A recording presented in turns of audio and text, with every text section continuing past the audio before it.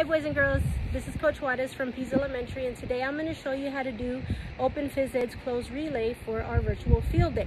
All you'll need today is a starting line and a finish line. As you can see behind me, I used two containers of detergent, but you can use whatever you have around the house. You'll also need an oversized shirt, oversized shorts, and any hat or cap that you have laying around the house. Before you begin, boys and girls, make sure that you put the shorts at the starting line.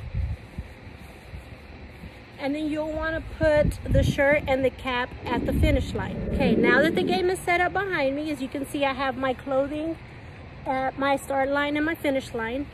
The goal of this challenge, boys and girls, is to see how fast you can run from the starting line to the finish line. You're gonna put on your shirt, you're gonna come back to the starting line, you're gonna put on your shorts, you're gonna run back to the finish line, put on your cap, and then you are gonna run back to the starting line to complete the challenge. Now you wanna move quickly because you wanna see how fast you can get this done. This is how it's done.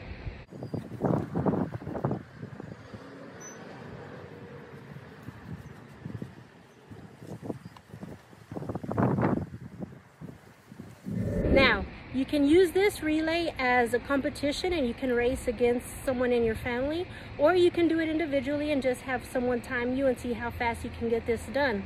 I really hope you enjoy this challenge and I hope you enjoy your field day. Bye-bye.